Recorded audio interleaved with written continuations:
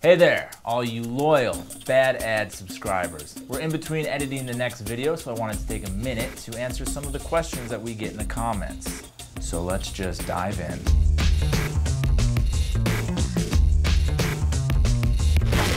Soccer Skills 97 raises a very interesting point. How is it that we always get pretty girls to respond to these ads? Well, don't forget about all the pretty guys out there. I remember a certain workout specialist, he was just uh, never mind, he's gone through enough. So how do we always get pretty girls to respond?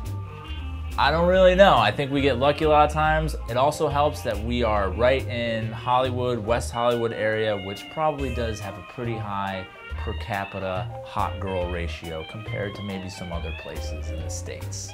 All right, we have a question here from a DJ Fins. Now he's asking, how much do we spend on props, all that kind of stuff?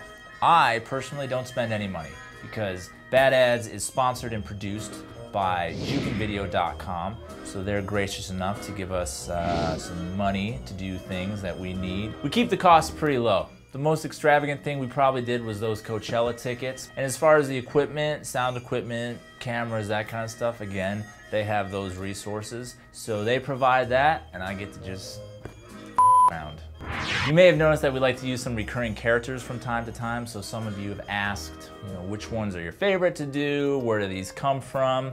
For me, I really like the character of Drip, the music producer. We're really trying to find a way to bring him back. Also, we have a new video coming out that's gonna feature a character, Bryce Manhattan, and he is really just an exceptional brand of douchebag that I think everyone's really gonna take a shine to, because I know I have.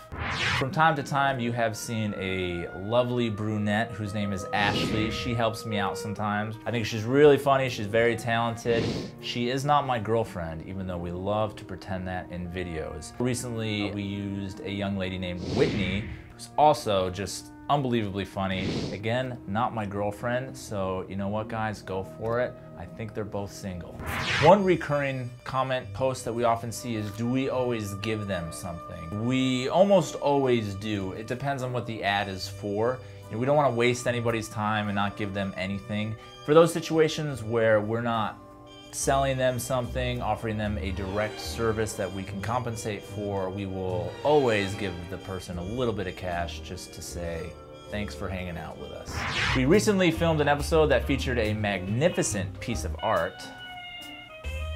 This one right here, titled Whitney's Ass. Now what we'd like to do with this, just for a little fun, see what happens, we're gonna go ahead and put that up on eBay. We're gonna start the bidding at 25 cents. Whoever wins that, we're gonna take the money and donate that to a charity of your choice, unless it's like 50 cents, in which case I'm probably gonna use that to get some laundry done.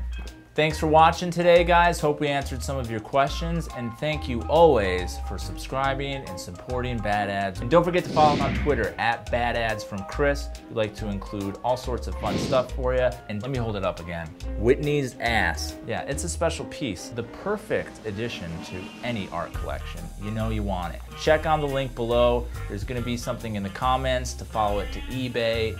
Bid on it, win it. We donate the money to charity the charity of your choice. And thank you for watching.